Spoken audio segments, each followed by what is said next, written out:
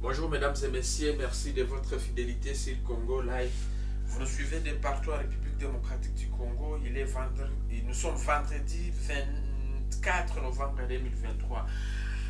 Deco Moïse, bonjour et bienvenue. Bonjour, bonjour tout le monde. Vous allez bien? Nous allons très bien. Raconte-nous c'est quoi l'actualité ce matin à Goma? L'actualité ce matin à Goma, c'est effectivement le meeting qui a été tenu par l'opposant Moïse Katumbi dans le stade Afia.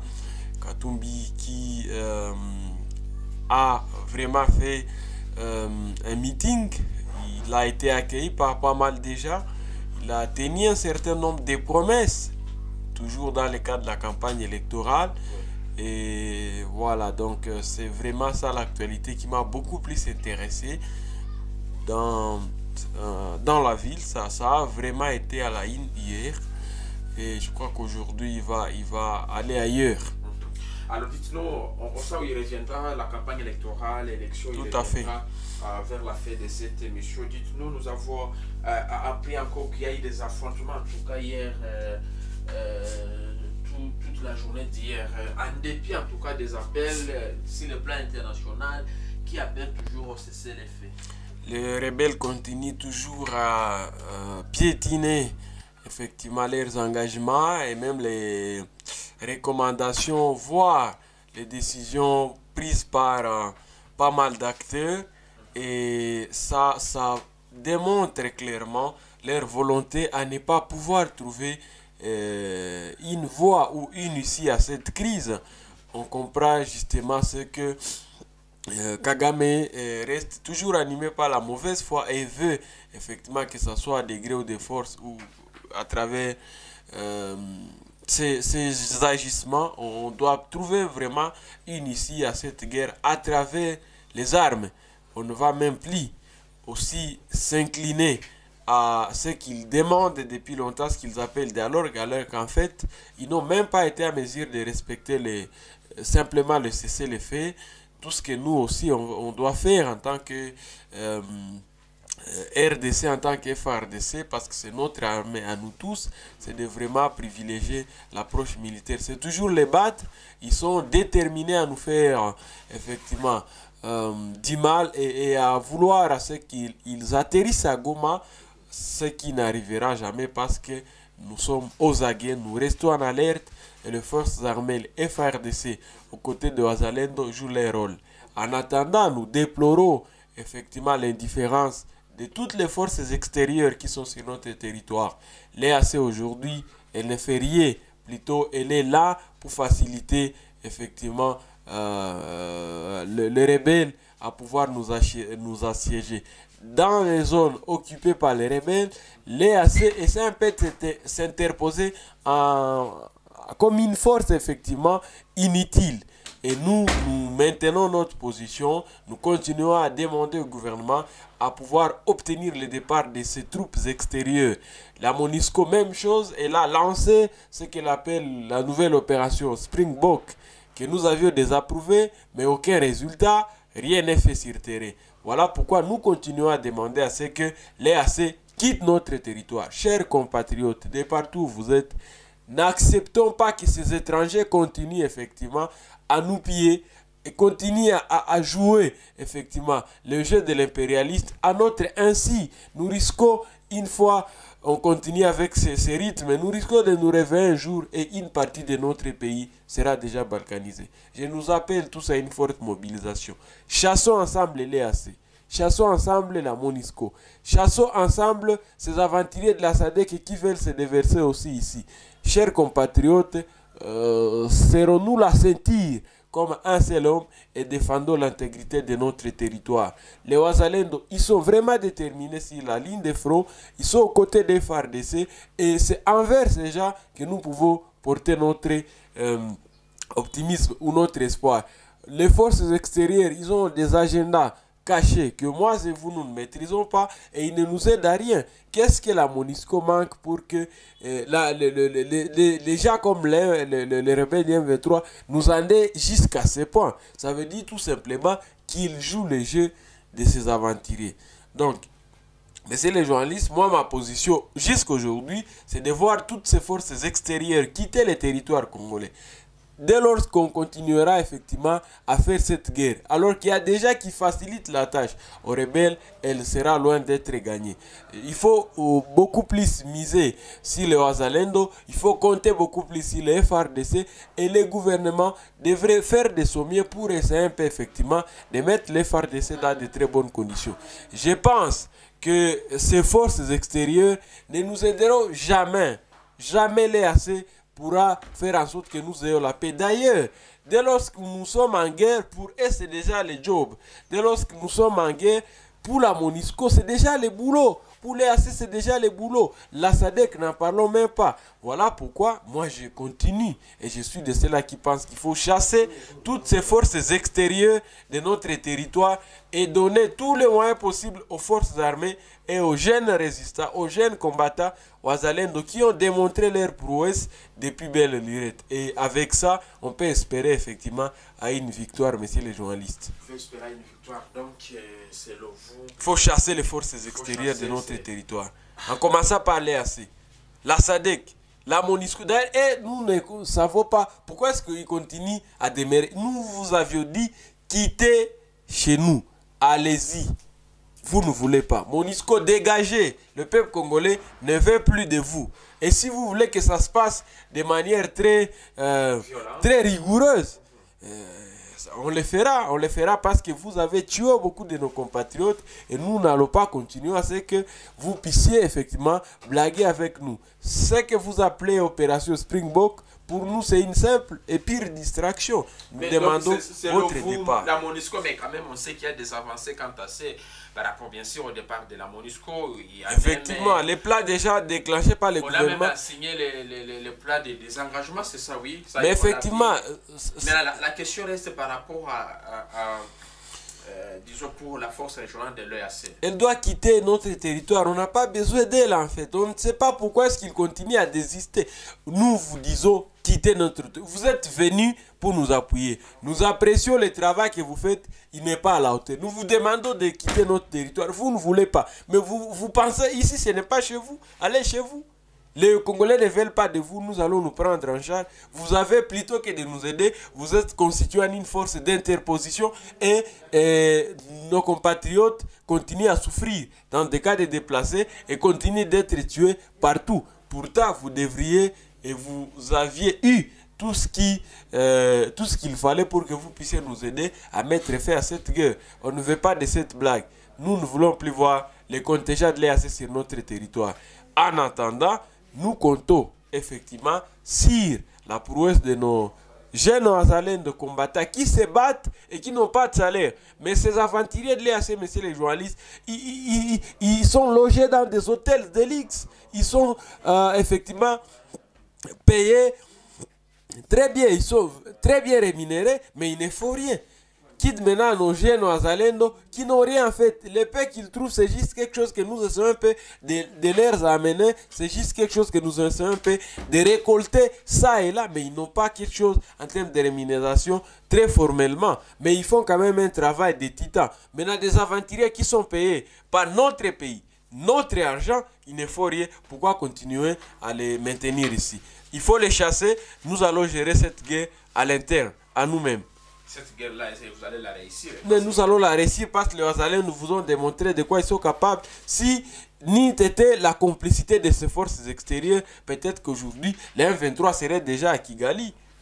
Ah, comment ça? Mais parce qu'effectivement, aujourd'hui, il est arrivé un moment où les jeunes voudraient attaquer les rebelles et c'était des forces, ces, ces éléments de l'EAC qui euh, essaient un peu de les interdire en s'interposant comme pour dire non, il y a des engagements que votre gouvernement a pris avec ces gens, il faut les respecter, des blabla comme ça. Et les jeunes étaient contraints effectivement à, à ne pas effectivement avancer. Mais aujourd'hui, les rebelles, ils s'approchent de Goma, ils s'approchent de ça, ils s'approchent effectivement de de Kibumba et le reste parce qu'effectivement ils ont eu l'aide, ils ont eu la facilitation de ces aventuriers qui euh, sont venus ici avec des agendas que moi et vous, nous ne connaissons pas.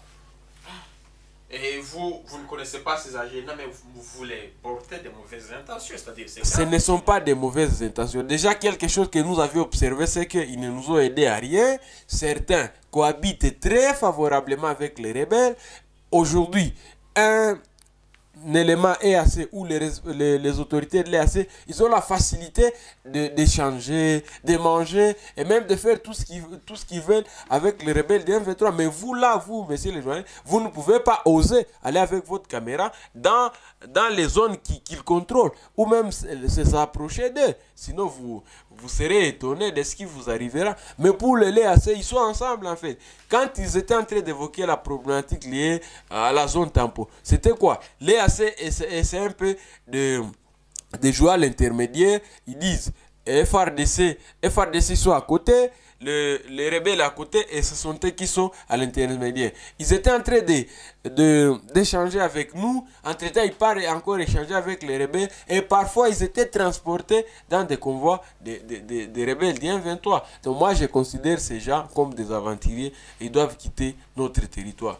Nous allons nous prendre en charge et nous sommes prêts pour cela. Il y a quelques jours, ici, moi, a, a, a, a le président du M23 a déclaré que les zones qui sont sous leur responsabilité, donc les zones qu'ils contrôlent déjà, seront, à, donc, euh, ils seront considérés comme déjà leurs espaces et qu'ils ont le plein droit de mettre les responsables ou alors les chefs pour diriger ces zones. Les chefs qui viennent du Rwanda, c'était donc pour lui c'était une façon de dire qu'ils vont administrer ces zones par des aventuriers qui viennent du Rwanda. En fait, les, les, les 1-23, c'est directement le Rwanda. Nous le disons à chaque jour, nous faisons face à une armée formelle. Ça s'appelle le Rwanda. Et dès que Bissimo a dit qu'il va déverser, effectivement, il va euh, constituer une administration qui sera euh, effectivement sous son lead, ça, ça, démontre clair- clairement tout ce que nous avions depuis longtemps euh, dit. Donc c'est déjà le Rwanda qui veut instaurer son administration dans ces zones. On ne peut pas, on ne peut pas cautionner ces bêtises. Le gouvernement a tout intérêt à les battre, à les pourchasser euh, jusqu'à leur dernier retranchement. Mais imaginez s'ils essaient un peu d'instituer une administration dans zones. Ça veut dire que déjà, comme ça se fait à Bunagana, ils vont commencer à recevoir des recettes, ils vont commencer effectivement à tout faire. Et ça, on ne, pourra pas accepter, monsieur le journaliste. Déjà, il a dévoilé euh, leur plan, il a dévoilé sa carte et nous, euh, nous prenons acte de cela. Je, je pense que le, grand problème aussi, c'est la façon euh, euh, dans laquelle le gouvernement essaie un peu de prendre cette guerre. J'ai comme l'impression qu'il y a certaines autorités qui ne comprennent pas effectivement l'ampleur de cette guerre ou qui ne se rendent pas compte de la gravité de la situation. Autant que ils sont peut-être parce qu'ils sont à, à 2000 km, comme Alinguette l'avait dit, mais je vous dis, pour nous qui sommes ici, nous nous sentons très menacés. Nous sommes très menacés. Et nous, par exemple, moi, moi, moi là, messieurs les joints, je vous dis, je suis de ceux-là qui pensent que le gouvernement devrait arrêter certaines choses et concentrer ses efforts sur cette guerre. Arrêtez Mais par exemple par les élections. Pas les élections, messieurs les journalistes. Il est possible de, de- autant que les gens font la campagne, mais autant que le gouvernement se déploie pour effectivement maintenir la guerre. Certaines choses, par exemple, quoi Très pratiquement. Par exemple, pour, ce- pour certains portefeuilles, le gouvernement ne devrait pas allouer beaucoup de moyens. On concentre ça sur la guerre. C'est simple. Je ne vais pas citer ici, mais on connaît comment est-ce qu'on gère la République. Au moins, l'enveloppe, une grande partie de l'enveloppe budgétaire, on concentre ici. pour euh, la guerre. Mon cher, gagner une guerre nécessite certains préalables. Et parmi les pré, le, le- comment je dire, les premières choses à faire, il y a, y a ça en fait. On ne peut pas prétendre gagner une guerre sans avoir des moyens conséquents. Effectivement, il y a certains, euh, certains efforts déjà que le gouvernement déploie dans ce sens, mais qui ne sont pas suffisants. Les Ouazalais, vous pensez qu'ils attendent quoi? Mais c'est juste un simple appui. Ce sont des moyens que vous donnez aux jeunes et même ceux qui sont aujourd'hui à la maison. Une fois ils constatent que les, les leurs qui sont sur la première ligne de front, ils sont quand même très bien motivés. Ils peuvent rejoindre. Les jeunes qui sont partis à Kisangani, et les- vous pensez que c'est- c'est parce qu'en fait on les a motivés, on les a démontré qu'il y a quand même quelque chose que vous aurez et les restes. Et c'est comme ça. On ne peut pas juste gagner une guerre à travers des discours. Les militaires, il a besoin de très bien se vêtir, il a besoin de manger, ils ont besoin des engins tels que des Sukhoi, tels que euh, aujourd'hui, ça se fait. par. Effectivement, il est, il est, il est dans ses droits Il a de, promis de- des F-16. hein. effectivement ce qu'il a promis, mais c'est c'est après une promesse. hein. Nous, on se contente de ce qu'il y a. c'est ça notre finalité, c'est ça la fin. Hein. Effectivement. Voilà, euh, il nous dévoile qu'il y a des F-16 et puis il a dit qu'il va magasiner ces, ces Sukhoi, il va aller les mettre. Ce sont des promesses, les, les actes compteront plus. C'est comment vous trouvez ces propos-là Quand il, il critique d'abord les Sukhoi, qui ne- ces Sukhoi ne font rien, ce sont des cartons, donc ça ne peut pas faire la guerre. Je n'ai pas trop apprécié la manière dont Katumbi euh, s'en est pris à ces Sokoi parce qu'en fait, c'est. Est-ce que même ce Sukhoi, il tire aussi les gens aussi? Peut-être qu'il a raison, il a critiqué. Non, en fait, il faut, il faut interpréter son discours dans un cadre électoraliste. Euh, tout comme d'autres candidats, il ne, fallait, il ne pouvait que faire ça façon de Critiquer démontrer les que. Pour la guerre. Effectivement, et le- vous, vous pensez que les politiciens, les politiciens, ils ne voient pas la les choses telles que vous le voyez. Ils ont leurs, hein, ils ont leurs lunettes propres. Nous, nous, quand nous voyons les Sukhoi monter, on a tendance d'applaudir. Il y a des gens qui dansent parce qu'ils savent là. Mais il faut applaudir parce que ça nous aide. Effectivement, il y a, lui, il a évoqué cette autre qualité euh, d'avion et les restes. Mais c'est avec quoi on a, nous avons pour maintenant les, les, les. Lui, ce sont des promesses. C'est ce que je vous dis. Il y a, il y a en fait une distance entre les, les actes et les dires, les actes et les discours. Si le gouvernement aussi continue à faire ça, dans, surtout en ce qui concerne la guerre, je ne pense pas qu'on arrivera Donc quelque part. Là, il faut d'abord garder. Non, non, on les utilise. F-16. Arrêtez avec le discours de Katumbi. Lui, il fait ce qu'il va faire en termes. Mais il- les F-16, j'ai lu un peu là, c'est grave. Mais c'est- les- quand il parle de F-16, vous pensez que le gouvernement ignore que ce, ce genre d'avion existe? Mais pourquoi on ne les achète pas? Mais parce que peut-être le gouvernement n'a pas déployé des moyens euh, pour, Les pour moyens, ça. est-ce que la République manque de il a dit qu'il va acheter tout. En fait, je ne sais pas si nous sommes pas de mettre sur la même onde. Moi, je concède ce que Katumbi a dit. Il est libre de promettre même le paradis. Lors de la campagne, on promet même le paradis, je vous dis. Il y a déjà... promis. Moi, je vous dis, il y a gens qui promettent même le paradis pendant la campagne. Et c'est maintenant aux électeurs de digérer. C'est aux électeurs de faire preuve, effectivement, d'un sens élevé de discernement pour comprendre que ça, c'est utopique. Ça, c'est réaliste. Par exemple, il a promis que euh, va déployer, il va décaisser 5 milliards de dollars en termes de fonds spéciaux, les- pour le Nord Kivu. Kivu. Et- Mais ça, ça paraît un peu réaliste. Au moins, on sait que c'est possible C'est réaliste ou irréaliste réaliste. C'est possible. Il a par exemple dit, euh, effectivement, ça revient dans Tu ses, actifs. cette guerre-là va vers avant janvier d'ailleurs. Donc, en janvier. Ça, aussi, c'est irréaliste. C'est irréaliste. Soit il a tout, lui, il a les techniques. Hein. Alors, accordons-lui les bénéfices du doute. Mais moi, je ne suis pas ici pour les vanter, encore moins pour nous jeter des discrédits. Mais tout ce que je demande pour l'ère actuelle, parce qu'en fait, Katumbi, lui, il est, il est dans les. Comment Il est, il est dans, non, il est dans des discours électoralistes. Mais entre-temps, nous, on est menacés. Lui, il est libre de faire sa campagne. Même le président Tshisekedi. Mais nous, ce que nous demandons, c'est qu'on donne à l'armée des moyens. Pendant qu'ils sont en train de monter leurs discours, nous, on est en train de nous tuer. Pendant qu'ils sont en train de raconter leurs histoires, les 23 essaient un peu d'avancer. C'est que nous, ce qu'on demande, c'est à la République. Et qui dit la République Commençant par les chefs de l'État, les responsables de l'armée, les différents ministres, les députés nationaux et tout le monde.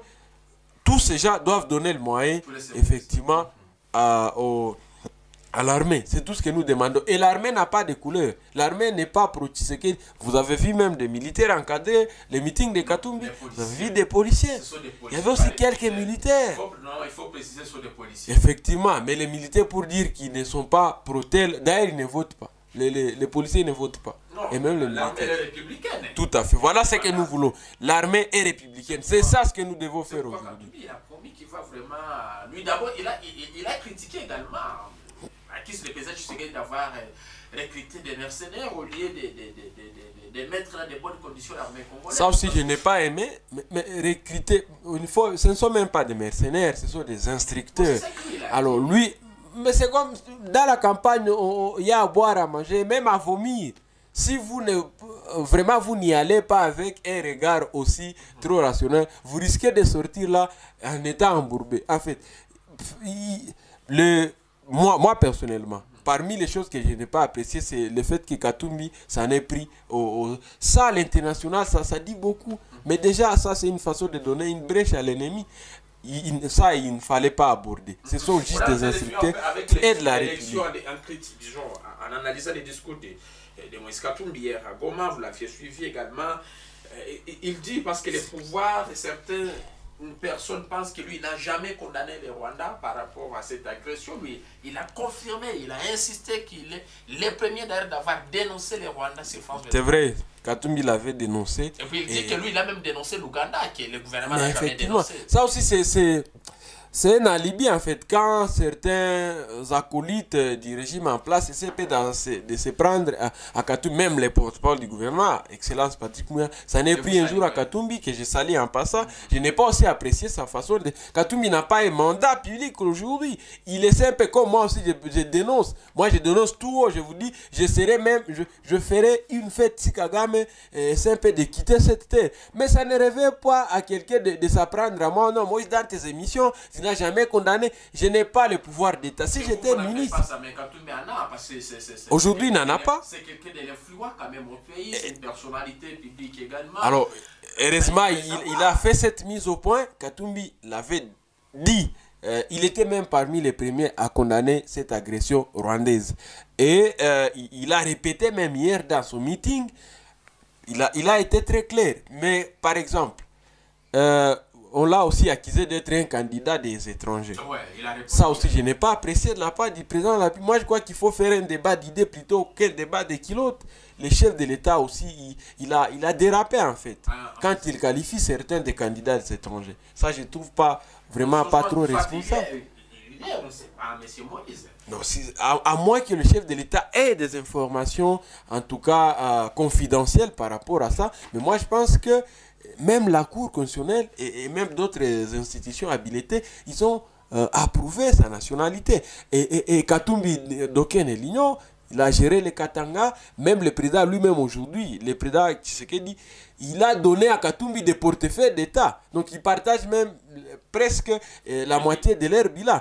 Comment est-ce que le, le président Tshisekedi pouvait accorder des ministères à quelqu'un qui, qui est un candidat des étrangers ou qui n'est pas congolais? Donc il faut, il faire la part des choses. Je suis loin d'être pro-Katumbi, loin d'être pro-Tshisekedi, mais je souhaite que le maire l'emporte à travers son projet de, société, de société Moïse. et son profil. Merci beaucoup, merci d'avoir été là. Numéro de téléphone, vite, vite. Plus 243 99 25 42 946. Merci, À la lucha. merci, bye bye.